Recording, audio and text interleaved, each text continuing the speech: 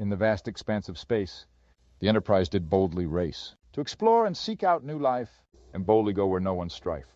But in the midst of their quest, an anomaly did manifest, a void where silence reigned supreme, a place where nothing is as it seems.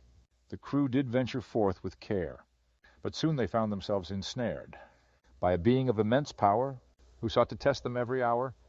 He played with them like toys and filled their minds with endless noise. He showed them wonders beyond measure, but threatened them with death and pressure. The crew did struggle to survive and fought to keep their hopes alive. They tried to reason with the being, but found that it was not agreeing.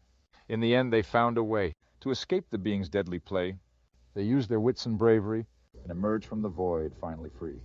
The lesson learned from this ordeal is that in space nothing is ideal, but with courage and determination, we can overcome any situation.